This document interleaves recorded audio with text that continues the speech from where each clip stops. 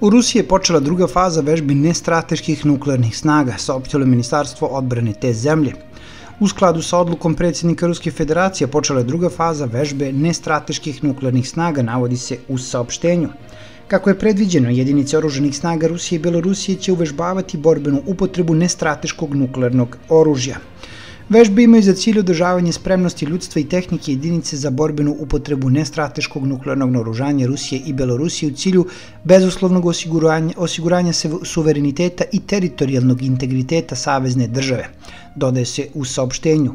Prethodno u okviru prve etape vežbe pripadnici raketnih jedinica Južnog vojnog okruga realizovali su zadatke dopremanja specijalne municije za operativno-taktički raketni sistem Iskander, ispunjenje lansera i prikriveni odlazak na naznačene pozicije radi pripremanja za lansiranje projektila.